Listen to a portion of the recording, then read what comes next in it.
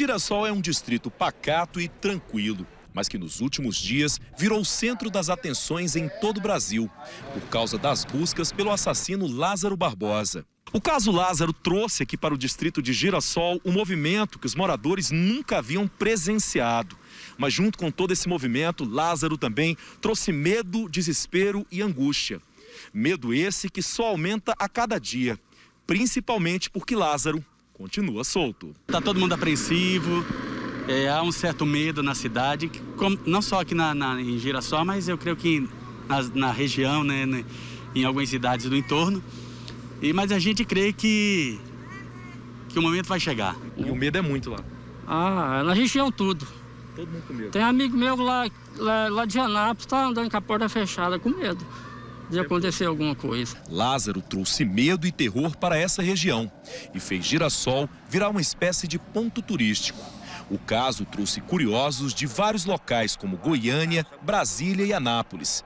Pessoas que vêm para cá tirar fotos ou até mesmo só para ficar observando o movimento da imprensa e da polícia.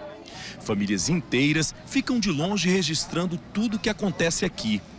O entra e sai das viaturas durante o dia todo é acompanhado de perto por quem espera o desfecho dessa história que já se arrasta por 13 dias.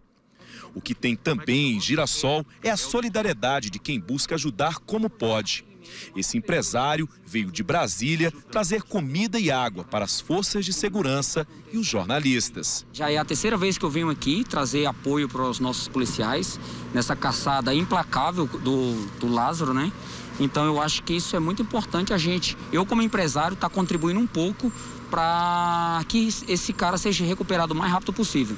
O mesmo fez esse médico veterinário que tirou o final de semana para ajudar quem está trabalhando nas buscas. É o mínimo que a gente pode fazer nesse momento, né? Ajudar a polícia, trazer uma água, trazer um alimento, né? Para dar esse apoio aí, manter as tropas de pé, até que consiga fazer a apreensão desse elemento que está solto.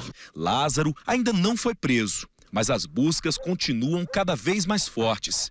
Mas viaturas do Batalhão de Cães de Brasília e também da Polícia Federal chegaram no domingo a Girassol para reforçar ainda mais a força-tarefa. Agora já são quase 300 homens atrás de Lázaro.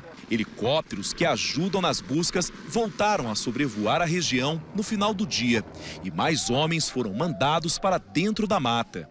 O secretário de Segurança Pública de Goiás, Rondinei Miranda, não deu entrevista nem no sábado e nem no domingo. Apenas uma nota foi emitida pela secretaria.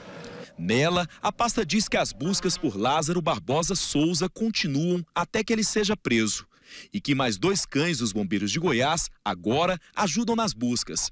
A nota também diz que o Serviço de Inteligência da Polícia Rodoviária Federal foi incorporado à Força Tarefa.